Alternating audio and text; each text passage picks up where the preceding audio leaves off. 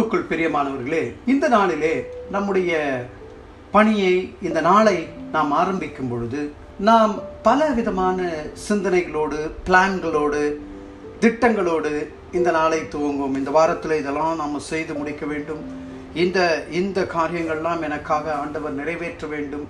இப்படி பல எண்ணங்கள் நம்முடைய சிந்தையிலே ஓடிக்கொண்டு இருக்கும் அதே போல நாம் ஒரு படி எடுத்து வச்சா ஒரு சொல்லுவாங்கல்ல அஹ், ஜான் ஏறுனா முனம் செருக்கும் அப்படின்னு சொல்லுவாங்க.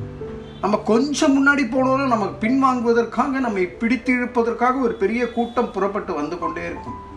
அப்படி நம்மை தாக்குவதற்காகவும் பலர் திட்டம் தீட்டிக் கொண்டுதான் இருப்பார்கள். ஆனால் நம் தேவன் நமக்காக யுத்தம் பண்ணுகிற தேவன் சங்கீதம் முப்பதாவது அதிகாரம் முதலாவது வசனத்திலே தாவீது இப்படியாய் சொல்லுகிறார் கர்த்தாவே என் சத்துருக்கள் என்னை மேற்கொள்ள மகிழ ஒட்டாமல் நீர் என்னை கை தூக்கி எடுத்தபடியினால் நான் உம்மை போற்றுவேன். என் சத்ரு என்னை மேற்கொள்ளாமல் போகும்படி என் கரத்தை பிடிச்சிங்க என்னை எடுத்தீங்க. ஆகையாலே நான் உம்மை போற்றுவேன். இன்னைக்கு அந்த சத்துரு என்று சொல்லும்பொழுது ஒரு நபராக மாத்திரமே இருக்க வேண்டாம். அது ஒரு சூழ்நிலையாக இருக்கும். அது நீங்கள் மேற்கொள்ளுகிற ஒரு போராட்டமாக இருக்கும். ஒரு வழக்காக இருக்கும்.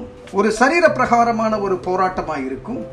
ஒரு இண்டிவிஜுவலோடு ஒரு குடும்பத்திலே ஒரு இண்டிவிஜுவலோடு ஒரு போராட்டம் இருந்து கொண்டு இருக்கும் அது என்ன ஒரு சூழலாக இருந்தாலும் பொருளாதாரம் குடும்ப சூழ்நிலை வேலை இல்லை வழக்காக இருந்தாலும் அது மேற்கொள்ள மகிழ ஒட்டாமல் என்னை பாதுகாத்தீரே ஆண்டவரே. அது என்னை மேற்கொள்ளாதபடிக்கு அது மகிழ்ச்சியாக இருக்காதபடிக்கு நான் இன்றைக்கு மகிழ்ச்சியோடு இருக்கும்படியாக உதவி செய்தீரே ஆகையாலே நான் உம்மை போற்றுவேன் என்று சொல்லுகிறார் சங்கீத முப்பதிலே தாவீது. அந்த அதிகாரத்தை நீங்கள் தொடர்ந்து பார்ப்பீர்களே ஆனால் இரண்டாவது வசனத்திலே சொல்லுகிறார் என் தேவனாகிய கர்த்தாவே உம்மை நோக்கி கூப்பிட்டேன் என்னை நீர் குணமாக்கினீர். நாம் மடிந்து போயிருக்க வேண்டும் என்றால் எப்போ மடிந்து போயிருக்க முடியும். நமக்கு தெரியும் எத்தனை சூழ்நிலை எத்தனை ஆக்சிடென்ட்ஸ் எத்தனை விதமான பிரச்சனைகள்ல ஆண்டவர் கரம் பிடித்து நம்மை தூக்கி எடுத்தாரே. அந்த சுச்சுவேஷன் நம்மை மேற்கொள்ளாதபடி பாதுகாத்தாரே. ஆகையாலே நாம் போற்றுவோம் இந்த காலை வேளையில.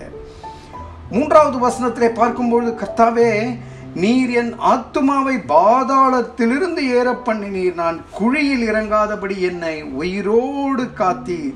நான் என்னைக்கோ குழியில போயிருக்க கூடும் அந்த குழியில ரெண்டாயிரத்தி ஏழாம் வருஷத்துல போயிருக்க கூடும் நான். நிச்சயமாக போயிருக்க கூடும். என்னால முடியல. I wanted to commit suicide ஐயோ எனக்கு வலி தாங்க முடியவில்லையே என்று சொல்லி. என்னுடைய பேங்க் அக்கவுண்ட்ஸ் என்னுடைய எல்லாவற்றையும் என்னுடைய மனைவியிடத்தில் ஒப்படைத்து விட்டேன். நான் மறித்து போகிறேன் என்று சொன்னேன். ஆனால் நான் குழியில் இழங்காதபடிக்கு கர்த்தர் கரம் பிடித்தார். நம்ம ஒவ்வொருவரும் அந்த சூழ்நிலைக்குள்ள சில பல நேரங்களில் போயிருக்க முடியும். சத்ரு நம்மை மேற்கொள்ளாதபடிக்கு கர்த்தர் காக்கின்ற ஆண்டவராய் இருக்கிறார் கரம் பிடித்து தூக்கி எடுக்கின்ற ஆண்டவராய் இருக்கிறார் ரெண்டாயிரத்தி இருபது வருஷத்துல பார்க்கும்போது கொத்து கொத்தாக குழியிலே இறக்கினார்கள். கொத்து கொத்தாக ஆனால் நமக்கு ஜீவனை கொடுத்திருக்கிறார். ஆண்டவரே நான் குழியில் இறங்காதபடிக்கு என்னை காத்தீரே. ஆகையாலே உம்மை போற்றுவேன் இந்த காலையிலே.